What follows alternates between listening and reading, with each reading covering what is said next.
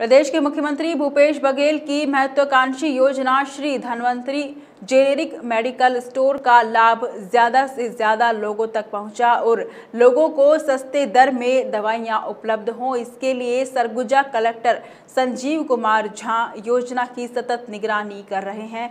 इसी क्रम में बुधवार को सरगुजा कलेक्टर और नगर निगम आयुक्त सर्वप्रथम ने Shri Dhanvantari generic medical store पहुँचे, जहाँ उन्होंने बुखार की दवाई दुकान संचालक द्वारा उन्हें दवाई दी गई। वही उनका रेट चार रुपये सतहत्तर पैसे है। उसके बाद कलेक्टर ने मेडिकल स्टोर में रखी हुई दवाइयों का निरीक्षण किया।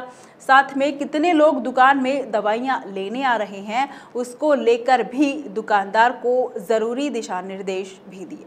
धनवंतरी योजना के तहत जो पेशेंट्स हैं, उनको अफोर्डेबल रेट पे जेनरिक मेडिसिन बड़ी बड़ी प्रतिष्ठित कंपनियों का उपलब्ध कराने की व्यवस्था है। इसके तहत अंबिकापुर नगर निगम क्षेत्र में दो दवाइयों की दुकान अभी चल रही है।